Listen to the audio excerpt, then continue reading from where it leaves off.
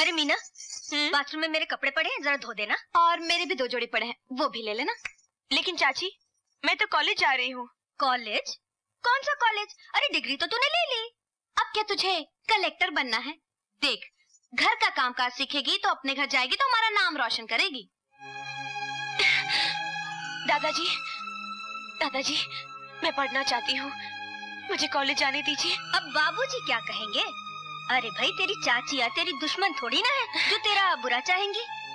पहले भी तो मना किया था बाहर भेजने के लिए, मगर भेज दिया। खूब गुल खिला कर आई थी तू। अब पढ़ाई का तो सिर्फ़ बहाना है। उसी लड़के से मिलना होगा।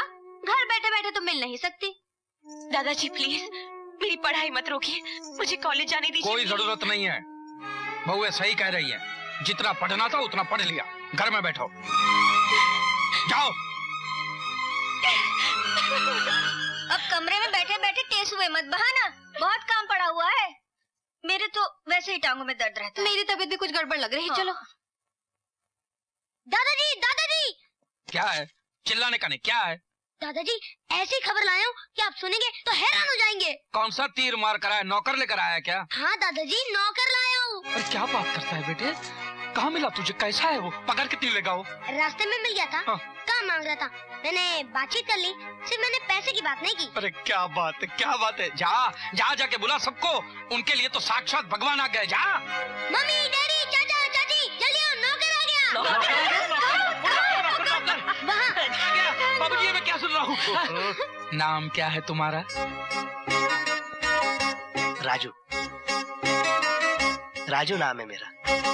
भैया इससे पहले कहाँ काम करते थे? अमित जी के यहाँ। किसके यहाँ? अमित जी बच्चन जी। अमित अमित अमित अमित भी उनके यहाँ किसने लगाया तुमको? वो क्या है किसी ने लगाया नहीं वो श्री जी के पास शाम को चाय पीने के लिए आए थे। मैंने ऐसा चाय बना के पिलाया ना मेरे को चुपचाप नीचे लेके गए बोले सौ रुपए बढ़ा के देता हूँ मेरे साथ चल मैं भी चल दिया।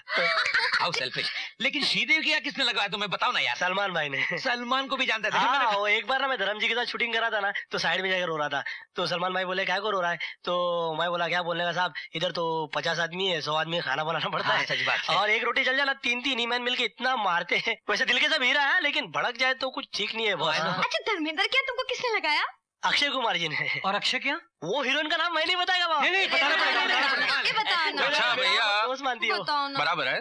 अब क्या है कि जमानत देने की वैसे तो ज़रूरत नहीं है लेकिन अगर जमानत देना चाहो तो किसकी दोगे? नहीं नहीं नहीं जमानत वमानत में कुछ नहीं दे सकता अच्छा। आप लोगों को रखना है काम पे तो रखिए हाँ, हाँ। वरना माधुरी दीक्षित जी के घर से मेरे को खुला ऑफ़र है। नहीं, नहीं, नहीं, नहीं, यार, हाँ, ऑफ़र है हाँ। मैं इसे जानती हूँ। बहन कैसे जानती है? सुनो हाँ जी। तुम वही हो ना जो सुभाष जी के यहाँ काम करते थे? कौन सुभाष जी? सुभाष घई अरे मेरे ससुराल के पड़ोस में रहते थे तुम वहाँ बर्तन नहीं खाते थे? सुभाष घई जी? हाँ हाँ, हाँ, हाँ, याद आया। हाँ, कभी देखा आते जाते बिल्डिंग में? काम क्यों छोड़ दिया वहाँ? अभी क्या बोलने का त्रिमूर्ति रिलीज़ हुई सारा गुस्सा मेरे पे निकाल दिया। अरे। कोई बात हुई? अच्छा ये चिट्ठी छोड़िए और मुझे बताइए कि यहाँ पर किचन कहाँ है। मुझे चाय नहीं दूध देना। अच्छा और चाय किस किस को देना है? बाकी सबको। बाकी सब कौन कौन और कहाँ कहाँ रहते हैं? ऊपर लेफ़्ट वाला चाचा चाची का हाँ। राइट वाला मेरा और मेरे कमरे में मम्मी डैडी भी रहते हैं। अच्छा। वो सामने दादाजी का हाँ। और वो पपी चाचा का। अच्छा अच्छा। और कौन कौन रहता है यहाँ पे? शनु वो अभी आजकल यहाँ ही रहती है। ओ और कौन रहता है? और डिम्बल दीदी। और कौन? और हाँ मीना दीदी। हाँ वो कहाँ है आजकल? वो आजकल कमरे में रोती रहती है। रोती रहती है? चलो मैं आ गया ना आप नहीं रोएँगी। उनका कमरा कहाँ है? वो सीढ़ियों के बगल में। चल जा अभी बोर मत करना तो नौकरी छोड़ दूँगा। हैदराबादी करारी खड़क छम छाए ले लो। मुझे नहीं चाहिए चले जाओ। क्या मेम साहब ये क्या सुन रहा मैं आजकल? मैंने सुना है कि आजकल आप पलंग पे औंधे पड़े पड़े बहुत आंसुआ बहा रहे हो। ये दस रुपए के फ़ोटो के लिए दस दस करोड़ रुपए के आंसुआ बहा रहे हो। अरे मैं तो कहता हूँ कि इस बेजान तस्वीर को फेंको और इस जानदार आदमी को गले लगा लो। तुम्हें ये खादिम सामने खड़ा है। कैसा लगा ये बदतमीज क्या बोल रही तुम्हें राज तुम तुम यहाँ